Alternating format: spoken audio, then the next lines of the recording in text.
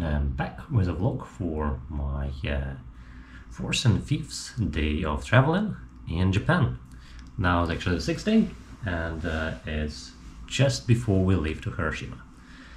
But before that, uh, I'd like to cover a few things about how the last two days went.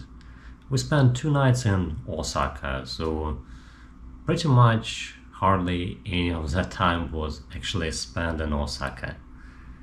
Uh, on the first day, we visited Nara and uh, hopped on a train going uh, through a more rural landscape, slower pace. Uh, was a number of uh, nice views uh, where it went through the valleys, tunnels. Um, yeah, with nice river toward the side.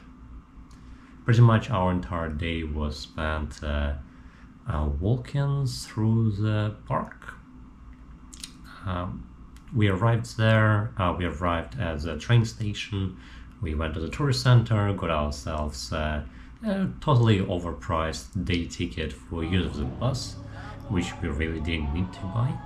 Um, bus cost 220 yen per person, um, so the return ticket would have cost us for 40, but we actually paid 500 for a day pass, even though we only use a bus twice. Uh, but yeah, no, we uh, got on bus, uh, got to the official disembarkment spot uh, for viewing the deer and the park, and uh, we started by feeding the deer. Pretty much all of them have been taught to bow multiple times uh, to get their uh, biscuits, the crackers. It's uh, quite a curious event because, uh, yeah, often deer can be associated with being a bit dull, but they clearly were taught, and even the young ones um, know to start bowing or try to. They're definitely not as practiced as their uh, older um, as old as old the deer. A large chunk of the deer population is actually supported by the local, both local and international tourists, uh, most of whom are buying 200 yen worth of uh, large crackers uh, to feed the deer. Uh, without the tourists, uh, it would not be possible to sustain such a large population. Um, Nara Park has a number of different interesting places that uh, we went to. Uh, the first one is uh, Todaiji, a massive temple with a large Buddha statue that acts as one of the main uh, three tourist attractions. Um, yeah, it is quite an interesting place, and probably the biggest Buddha I've ever seen in my life. But uh, um, yeah, really well done. Um, it definitely towers over you as uh, you're walking. Uh, Todaiji uh, Nigatsudo was another small temple that we visited uh, on the way to um, a shrine uphill. Uh, it is a small temple located on the cliffside and uh, a large number of tourists avoid trekking all the way uphill um, or stick to the main walkways. So it was a very quiet, uh, nice area. Um, yeah, with wonderful views toward the city. Um, afterwards, we uh, uh, ascended all the way up to Tamukeyama Hig- ah, Hachimangu Shrine. Uh, it's a shrine located uh, at uh, about, uh, I would say, one half of the way towards uh, the actual mountain. Uh, it's about 170 meters, uh, while the mountain is 340 or so, I think. Um, yeah, it acts as the second most popular attraction, and the many tourists already avoid hiking up 100 or so meters. So way few people there compared to at the bottom of the park. Um, a fair number of local, locals um, do prayer uh, before moving on with their lives. Uh, they come in, they uh, they bow, they clap, they think about their prayer, and afterwards bow again, walk away. Yeah, and quite a few people do that. Uh, it does seem to be limited by age either. Uh, both uh, young and old do this, uh, male and female. Uh, does seem to be just uh, part of the culture. And once there was also a third tourist attraction, uh, which we walked to. It was a large pagoda, um, but a large chunk of it was uh, in reconstruction, um, so we didn't spend much time there. Once we were done with the park, we uh, ended the day going back to Osaka, uh, staying in a short queue uh, to get some uh, food from Victorian Bar and Restaurant, uh, and it was amazing. Really loved the uh, meat skewers, all the different varieties. Uh, uh, beef, chicken, pork uh, with green onions, uh, a mini version of shashlik. Loved it. Um, and afterwards, we went um, to check out uh, Shinsekai, which is um, getting pretty close to us. Uh, sadly, don't get to see it out of the window, um, but it's very close. Um, it is uh, a night, one of the nightlife areas uh, in uh, Osaka. Um, you see a number of uh, neon signs, bustling population, people walking back and forth, going towards the restaurants, uh, uh, restaurants and bars, uh, gambling places as well, I think. And uh, we also saw some uh, kids and adults uh, trying to catch um, their own food as well.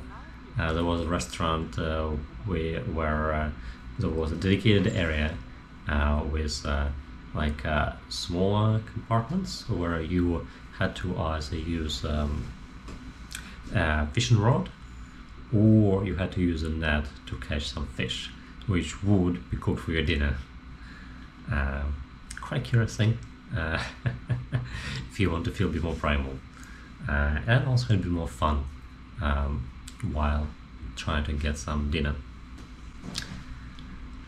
Uh, neither of us were very interested in drinks, so we just walked around uh, and enjoyed the ambience and the atmosphere. On the second day, uh, due to minor miscalculation, uh, Emma sent us uh, via the more quaint site of Kurashiki um, uh, station Google sent us. Chiamachi. Google sent us. Google sent us, of course, along with Emma. Uh, I blame Google. where we uh, happened uh, to uh, hop on the bus uh, to the historic quarter. Most of the day was um spent meandering through the streets of the historic quarter and visiting a number of uh, old houses. Some people call Kurashiki the Venice um, of Japan, though apparently many other places uh, want to call themselves this way too. Um, so whether it is a Venice or whether it's not, eh, who knows? But uh, it does certainly feel that way.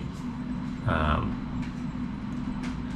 it is a very popular place. Um, uh, so many local tourists.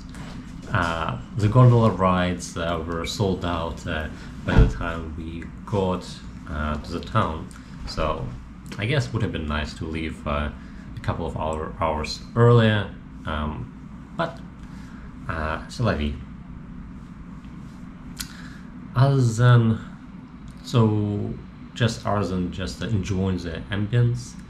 Um, probably the main highlights highlights were children eating swans uh, uh, uh, on the bank of one of the main canal. Um, the afterwards, other than the kids, I think the other two were uh, the um, two houses of uh, very rich merchants. Uh, one of them was uh, for Mahara's residence, which felt a bit more like a brag than um, the usual living place. Um, but had a neat library, uh, it had a beautiful garden, uh, it had a family tree. Um, it was interesting.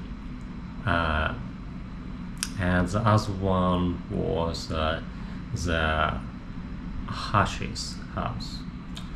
Um, and the Hashi's house was uh, very much a more lived in Japanese place. Uh, quite spacious, divided into many rooms.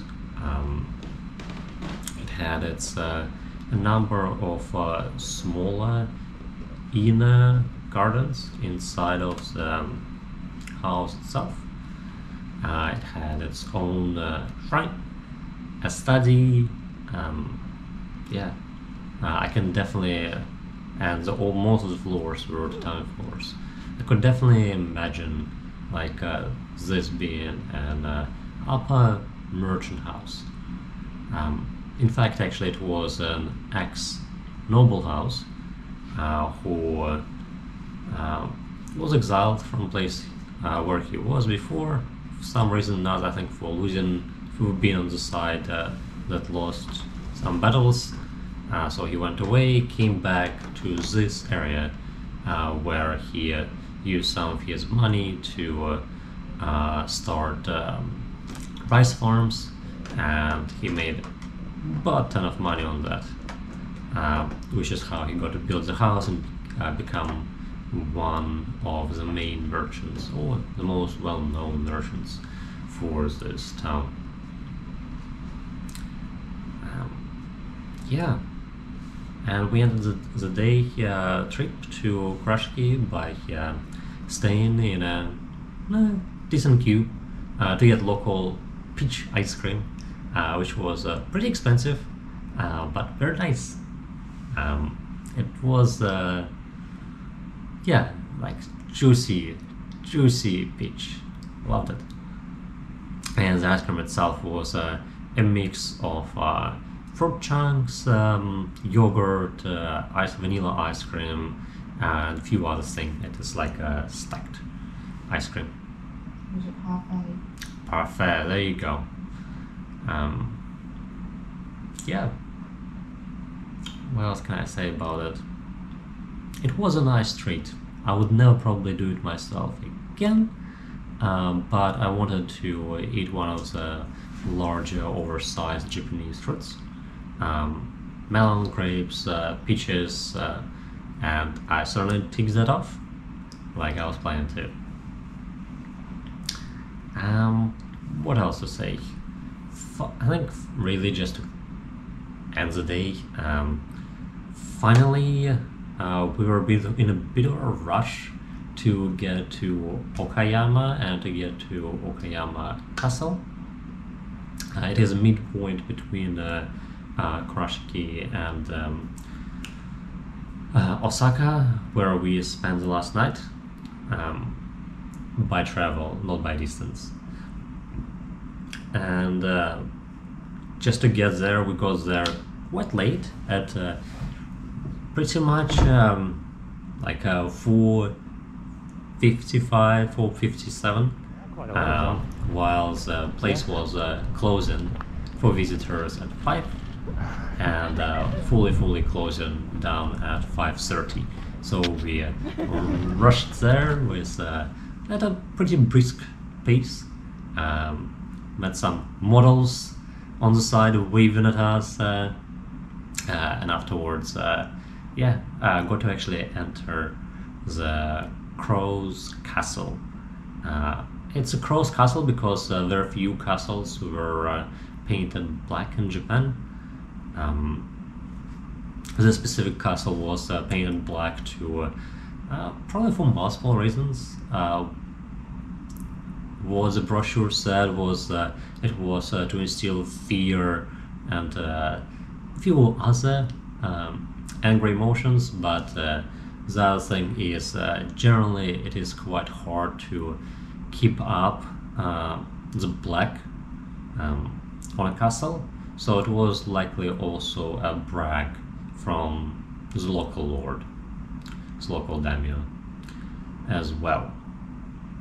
Yeah, the castle itself uh, looks uh, lovely from the outside, uh, but it was entirely destroyed uh, in World War II, so it was just a replica uh, with uh, pretty much everything inside made out of concrete for the purpose of convenience and accessibility. Uh, there were a couple of uh, museums inside uh, with different swords and other trinkets, uh, and there was an elevator pretty much all the way up top. Um, yeah, uh, whereas the views were sadly limited.